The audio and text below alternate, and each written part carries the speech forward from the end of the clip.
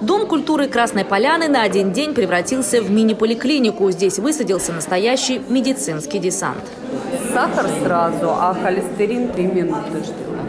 Сдать кровь на сахар и холестерин, проверить возраст сосудов и легких и получить консультации терапевта. Прием прямо в Доме культуры вели врачи сразу трех учреждений. Четвертой поликлиники, восьмой Краснополянской больницы и городского центра медпрофилактики. Можно скринингово обследовать большое количество населения и э, из этого скрининга выловить как такую сетью а, как раз вот такие вот моменты, которые а, выходят за норму, и мы этим людям предлагаем, а, записываем, конечно, их с телефонами, предлагаем приходить к нам в поликлинику на уже более детальное обследование, для того, чтобы мы после этого обследования могли поставить диагноз. День здоровья посвятили профилактике инсульта. День борьбы с этим заболеванием во всем мире отмечали 29 октября. Совместно с городской больницей номер 8 Центр медпрофилактики проводит ряд обследований для выявления факторов риска. Это повышенное артериальное давление, уровень глюкозы и холестерина в крови. Также мы рассказываем, как правильно вести свой образ жизни для того, чтобы предотвратить развитие этого заболевания.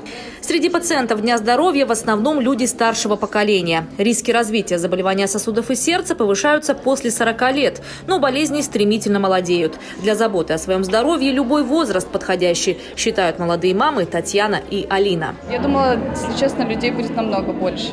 И, и, и наде... надеялась, что будет молодежь, потому что все-таки профилактику надо проходить.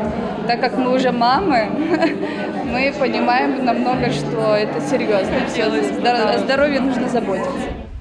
А еще на День здоровья привезли маммографический комплекс. Это укомплектованный всем нужным оборудованием кабинет на колесах. Возле фургона выстроилась большая очередь из женщин, желающих пройти обследование молочной железы.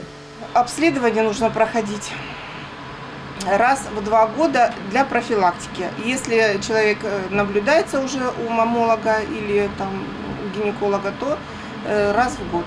В последний раз День здоровья такого масштаба в Красной Поляне проводили больше пяти лет назад. Такого большого перерыва больше не будет, пообещали организаторы. Ведь важно не только лечить больных, но и сопровождать здоровых. Ольга Десятого, Михаил Дубинин, телекомпания «ФКТ».